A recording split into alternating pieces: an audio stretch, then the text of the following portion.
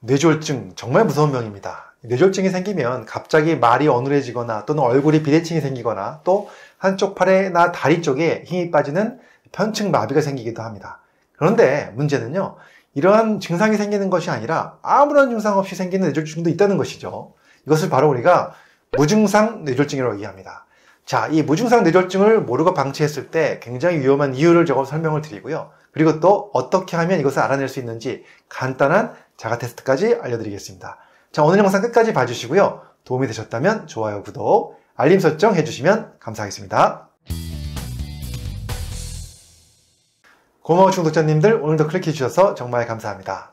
뇌졸중, 특히 혈관을 막히는 뇌경색 굉장히 흔히 나타나는데요. 이 뇌경색이라는 거 여러분들 다 아시겠지만 뇌세포로 가는 혈관이 어디가 막히면서 혈액이 가지 못하기 때문에 그 부위에 괴사가 되는 거죠. 그래서 이제 큰 문제를 일으킵니다. 자, 그런데 이 괴사가 생기는 이 뇌졸중 중에서도 뇌경색, 이 뇌경색은요, 혈관이 어느 크기 혈관이 막혔냐에 따라서, 혈관 크기에 따라서, 그 다음에 또 어느 위치에 혈관이 막혔냐에 따라서 증상이 많이 달라집니다. 그런데 이 혈관이 큰 혈관이 아니라 아주 작은 혈관이 막혔을 때, 그리고 또 그 위치가 치명적인 뇌 부위를 피해서 생겼을 때, 이렇게 생기는 아주 작은 미니 뇌경색이 생겼을 때는 증상이 없는 경우가 있습니다. 이런 경우를 바로 우리가 무증상 뇌졸중이라고 얘기를 하는데요. 그런데 문제는요, 많은 전문가들이 이 무증상 뇌졸중이 있는지 모르고 있는 상태에서 그냥 두면요, 우리 머릿속에 시한폭탄을 갖고 있다. 이렇게 얘기를 할 정도로 위험하다고 말을 합니다. 자, 그 이유가 무엇일까요?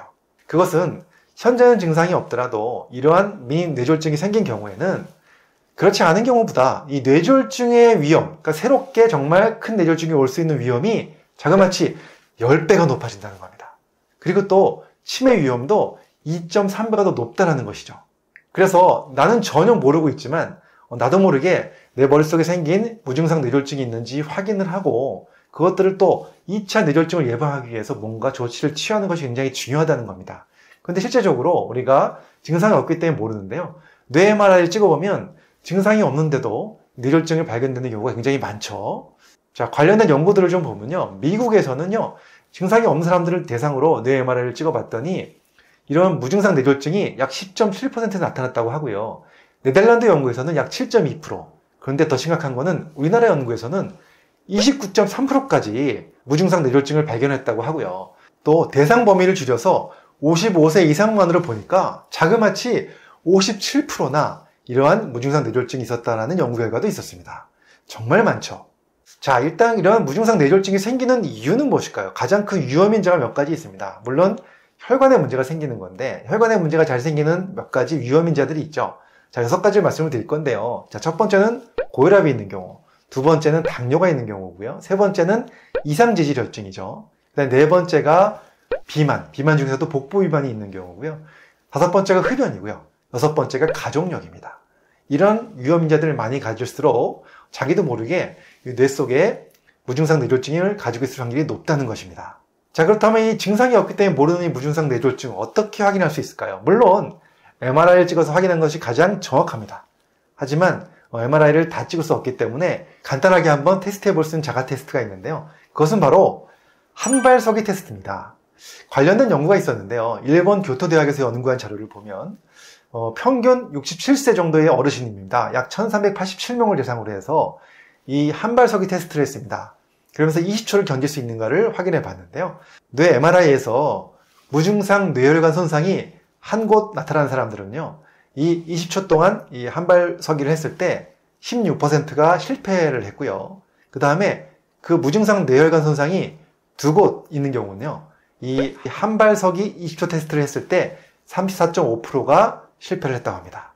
그래서 이 테스트가 100% 정확한 건 아니지만 확실히 무증상 뇌졸중이 있는 경우에는요.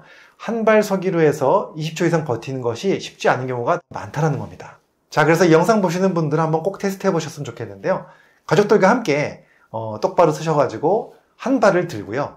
그리고서 중심을 잡으면서 눈을 감지 않으셔도 됩니다. 눈을 뜨고 나서 20초 이상을 버티는지 한번 꼭 테스트를 해보시고 그 다음에 댓글로 어, 테스트를 성공했는지 또는 20초 이상 버티셨다면 나는 몇 초까지 버텼는지 한번 쭉 적어봐 주시면 좋을 것 같습니다. 또 오른발로도 테스트 해 보시고 왼발로도 테스트 해 보셔서 몇 초까지 버틸 수 있는지를 어, 이 댓글로 쭉 적어주시면요. 서로 보시면서 좋은 경험이 될 것 같습니다. 자, 오늘은 증상 없이 나타나는 무증상 뇌졸중에 대한 설명을 좀 드렸습니다. 이것이 사실 그냥 두면 안 된다는 거 반드시 확인을 하는 것이 좋겠다 이 말씀 드렸고요.